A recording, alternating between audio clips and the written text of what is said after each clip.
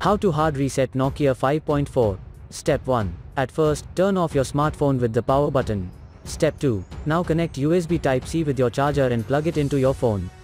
Step 3. Thirdly, press and hold volume up plus power key for a few moments.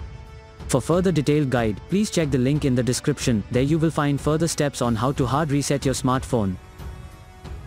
For further detailed guide, please check the link in the description, there you will find further steps on how to hard reset your smartphone. For further detailed guide, please check the link in the description, there you will find further steps on how to hard reset your smartphone.